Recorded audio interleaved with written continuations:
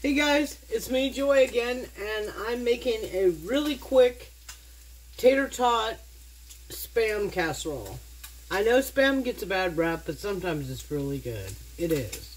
So what I did was I cooked some spam and some onions.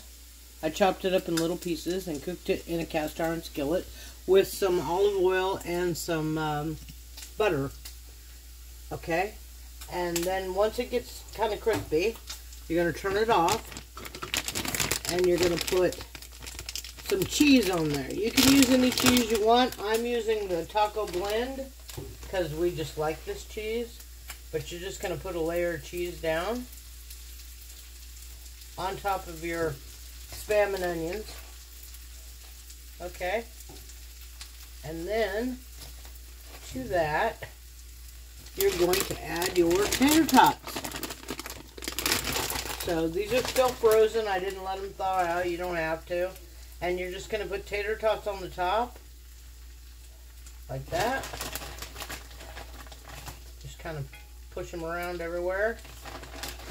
You don't have to be fancy with this. This is a pretty simple come together thing. You can use hamburger, chicken, leftover chicken, uh, ham, you can sausage. You can pretty much use any kind of meat you have on hand, but I just happen to have spam, so we're that's what we're having.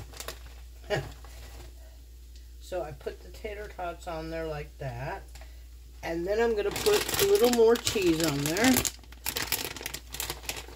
just to make it extra cheesy and delicious.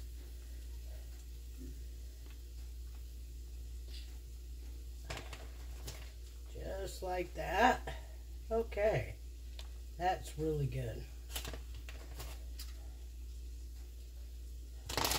And then I'm going to put some chopped green onion. I had three green onions I'm putting on the top to give it some color and a little flavor.